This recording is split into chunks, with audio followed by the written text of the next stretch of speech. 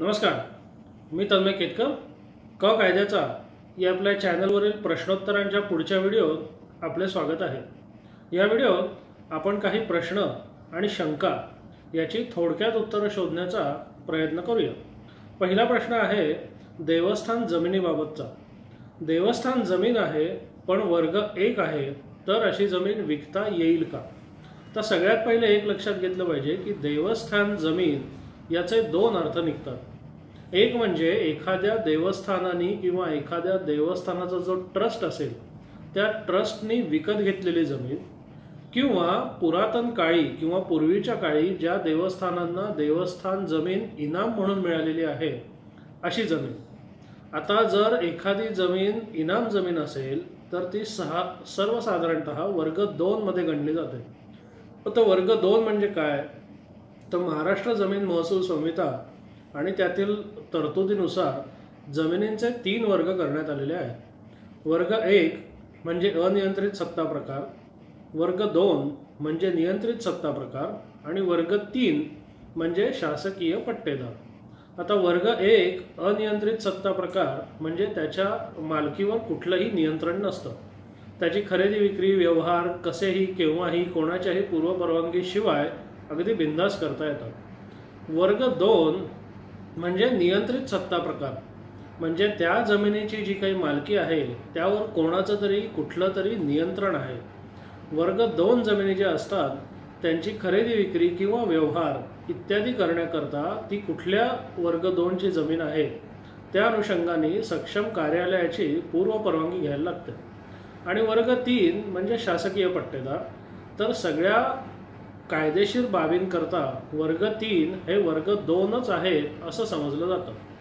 आता आपला जो प्रश्न आहे की आपली जमीन ही देवस्थानाची जमीन आहे मात्र सातबारावर ते वर्ग एक म्हणून दिसत आहे. तर ह्याच्यात आता दोन शक्यता उद्भवतात. एक जर ती एखाद्या ट्रस्टने खरेदी केली असेल तर शक्य आहे की त्याच्या भूधारणा पद्धतीमध्ये वर्ग एक हे दिसून येईल. मात्र वर्ग एक हे जे आहे ते महाराष्ट्र जमीन महसूल संहिता ह्यापुरतं मर्यादित आहे. म्हणजे महाराष्ट्र आणि महाराष्ट्रातले जमीनविषयक कायदे विशेषतः महाराष्ट्र जमीन महसूल संहिता आणि त्या अंतर्गत किंवा त्याच्याशी संलग्न असलेले कायदे आणि नियम या संबंधात जर कुठलं नियंत्रण असेल तर ते वर्ग एक किंवा वर्ग दोन किंवा वर्ग तीन किंवा जे काय असेल ते तिथे नमूद करण्यात येतं. पण जेव्हा एखादं ट्रस्ट एखादी मालमत्ता विकत घेतं तेव्हा त्याला ट्रस्ट कायदासुद्धा लागू होतो. आणि त्या कायद्यानुसार कोणत्याही ट्रस्टला कोणत्याही मालमत्तेची विक्री किंवा व्यवहार किंवा ते हस्तांतरण करण्यापूर्वी चॅरिटी कमिशनरची पूर्व परवानगी आवश्यक असते. त्यामुळे आता आपलं जे म्हणणं आहे की आपली जमीन ही वर्ग एकची आहे हे जरी असलं तरी ती जमीन जर एखाद्या ट्रस्टच्या नावावर असेल किंवा एखाद्या ट्रस्टने ती खरेदी केली असेल आणि अशा जमिनीची जर आपल्याला विक्री करायची असेल तर अशा जमिनीच्या विक्रीकरता संबंधित चॅरिटी कमिशनरची पूर्व परवानगी अत्यंत आवश्यक आहे. अशी पूर्व परवानगी घेऊन आपण त्या जमिनीची विक्री किंवा व्यवहार निश्चितपणे करू शकतो.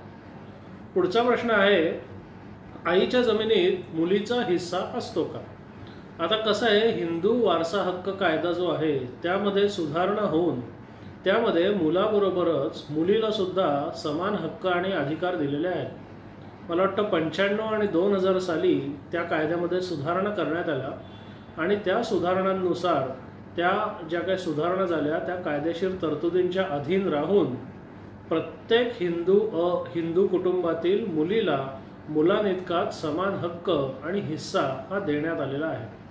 त्यामुळे जर एखादी मुलगी त्या हिंदू वारसा हक्क कायद्यातील तरतुदींची पूर्तता करत असेल तर तिला आपल्या आईच्या मिळकतीमध्ये निश्चितपणे समान स्वतंत्र सामायिक अविभाजित हक्क आणि हिस्सा निश्चितपणे मिळेल.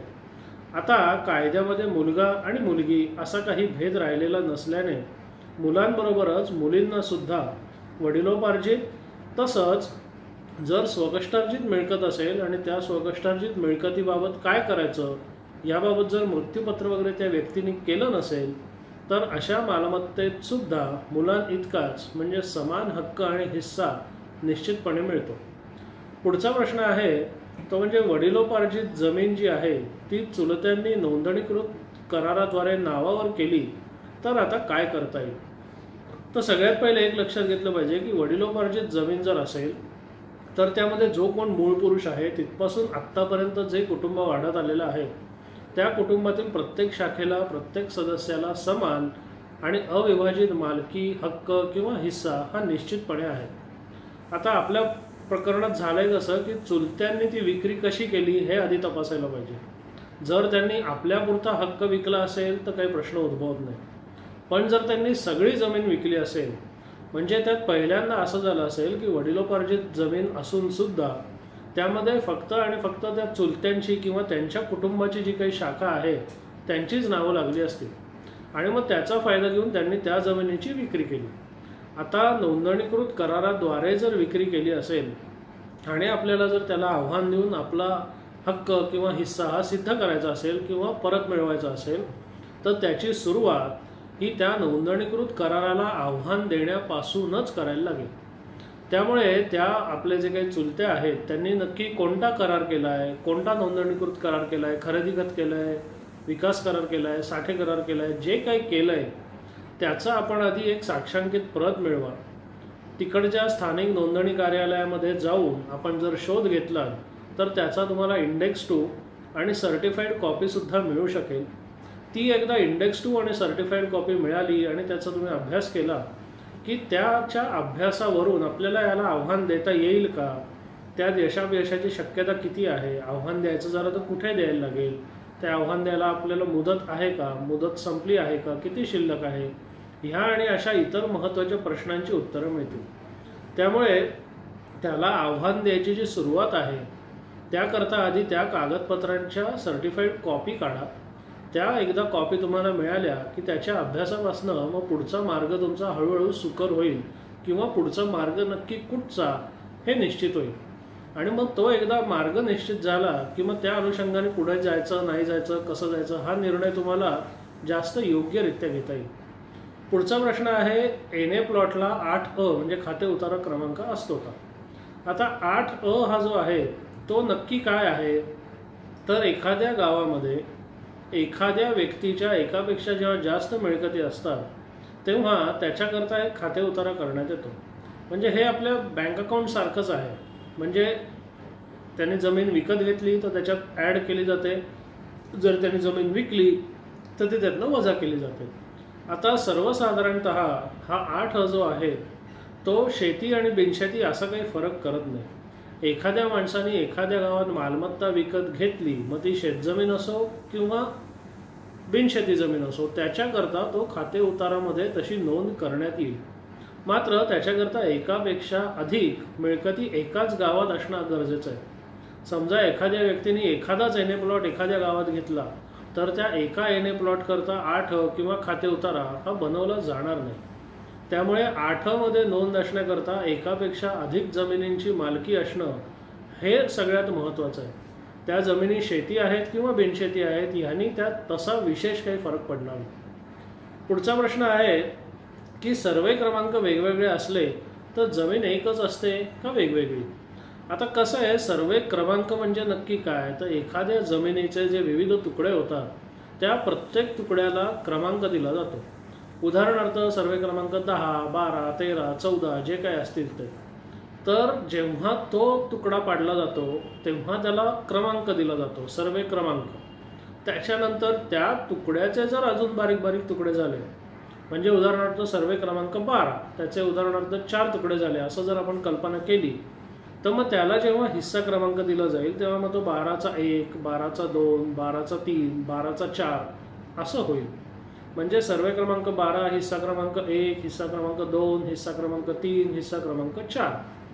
त्यामुळे कायदेशीरदृष्ट्या प्रत्येक हिस्सा क्रमांक हा किंवा प्रत्येक सर्वे क्रमांक हा स्वतंत्र जमीन असल्याचा निदर्शक आहे. त्यामुळे सर्वे क्रमांक बारा आणि सर्वे क्रमांक तेरा ह्या वेगळ्या जमिनी आहेत. तसंच सर्वे क्रमांक बारा ऑब्लिक एक किंवा सर्वे क्रमांक बारा हिस्सा क्रमांक एक किंवा सर्वे क्रमांक बारा आणि हिस्सा क्रमांक दोन ह्यासुद्धा वेगवेगळ्या जमिनी आहेत. बरं हे जे विभाजन विभाजन आहे ते कायदेशीरदृष्ट्या आणि अभिलेखाच्या दृष्टिकोनातून करण्यात आलेलं आहे. प्रत्यक्ष जर तुम्ही त्या जागेवर गेल्यात तर एखाद वेळ असू असू शकेल की ती जमीन सलग असेल.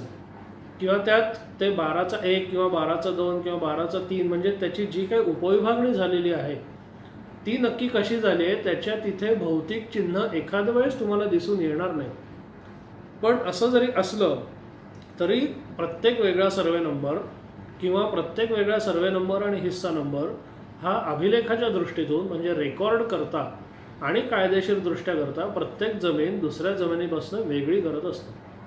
त्यामुळे वेगवेगळे क्रमांक याचा अर्थ रेकॉर्ड करता आणि कायदेशीरदृष्ट्या वेगवेगळ्या जमिनी असाच आपल्याला घेणं अभिप्रेत आहे. पुढचा प्रश्न आहे वाटणीपत्र न झालेल्या जमिनीमध्ये हिस्सा मागता येतो का? निश्चितच मागता येतो. एखादी जर जमीन असेल मग ती वडिलोपार्जित असो किंवा स्वगष्टार्जित असो किंवा स्वगष्टार्जित असून जर मृत्यूपत्र न केल्याने तुम्हाला त्याच्यात हक्क किंवा हिस्सा जर मिळाला असेल तर अशा जमिनीमध्ये वाटणी किंवा हक्क किंवा हिस्सा मागायचा अधिकार प्रत्येक त्या वारसदारास किंवा सहहिस्सेदारास निश्चितपणे आहे. आता अशा मिळकतीची वाटणी झाली आहे किंवा नाही झाली आहे याने प्रत्येकाच्या अधिकारावर तसा काही विशेष फरक पडणार नाही.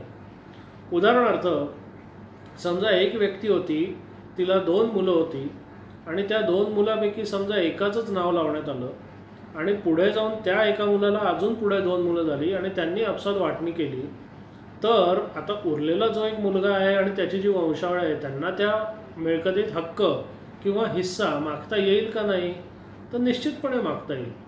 त्यांचंच नाव लावण्याची जी काही चूक झाली किंवा सगळ्या वारसांची नावं वगळण्याची जी काही चूक झाली त्यामुळे त्याच वारसांचं आपसात जे काही वाटणीपत्र झालं त्यांनी त्या मिळकतीच्या बाकी वारसदारांना किंवा हिस्सेदारांना किंवा त्यांच्या हक्कांना काहीही बाधा पोचणार नाही.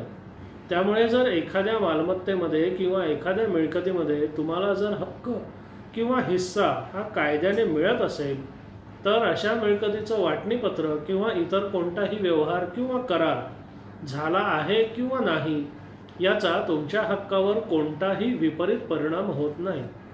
कोणताही व्यवहार करार झालेला असो किंवा नसो आपण अशा मिळकतीमध्ये हक्क किंवा हिस्सा हा निश्चितपणे मागू शकतो. आज आपण काही प्रश्न आणि शंका याची उत्तरं शोधण्याचा प्रयत्न केला. आपल्याला हा व्हिडिओ कसा वाटला ते अवश्य कळवा. आणि आपल्यालासुद्धा जर असे काही वैयक्तिक प्रश्न किंवा शंका असतील तर ते आपल्या चॅनलच्या व्हिडिओच्या कमेंट्समध्ये अवश्य विचारा. आपण विचारलेले प्रश्न आणि शंका यापैकी काही निवडक प्रश्न आणि शंका याची उत्तरं अशाच एका व्हिडिओच्या माध्यमातून देण्याचा प्रयत्न आपण निश्चितपणे करूया.